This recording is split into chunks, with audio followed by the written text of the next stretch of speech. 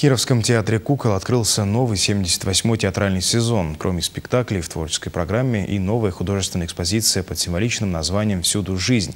Инициатор выставки, известный художник Анатолий Пестов, объединил на выставке картины семи авторов. Выставка получилась разнохарактерная и яркая, такая, как и сама жизнь. Анастасия Каминская с подробностями. Идея «Чистая светлая выставка для детей» родилась из самого места экспозиции. Театр кукол – это прежде всего дом детства. Легкие работы в чистых тонах – единственный критерий отбора. Самой юной художницей этой выставки Лолите Пестовой 12 лет. Здесь представлена ее летняя практика.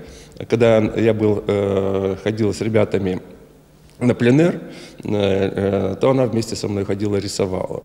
Рядом размещены работы взрослой художницы Натальи Седых. Она работает в редкой ныне технике – роспись по дереву в древнерусском стиле. Также хочу отметить э, Миллиону Пестову, э, мою супругу.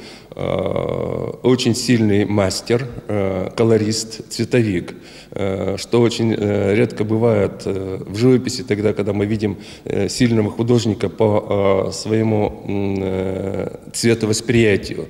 Самая опытная художница Вера Копылова представила свои работы в стиле батик. Своеобразным смысловым центром ее работ стала картина «Ромео и Джульетта». Рядом в экспозиции картины ее ученицы Евгении Дудиной. Лена Сверлова работает э, недавно, но э, в ее э, характере, в ее письме чувствуется э, тонкая саврасовская вот эта э, связь природы э, и э, зрителя. Ольга Барышникова по своему мировосприятию лирик. Она не просто пишет пейзажи, но и много фантазирует. Ее работы воздушные по цвету и лаконичные по восприятию.